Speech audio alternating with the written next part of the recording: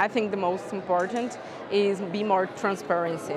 I think the transparency and also the, I don't know, the accountability, be more accountable, seems the most important to be more trust. So, uh, well, many, many initiatives could help with that.